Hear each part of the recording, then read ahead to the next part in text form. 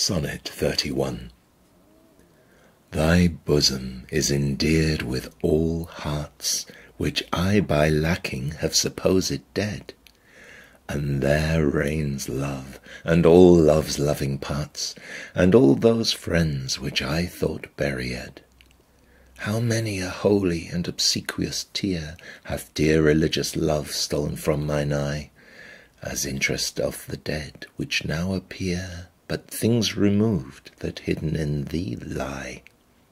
Thou art the grave where buried love doth live, Hung with the trophies of my lovers gone, Who all their parts of me to thee did give that due of many now is thine alone.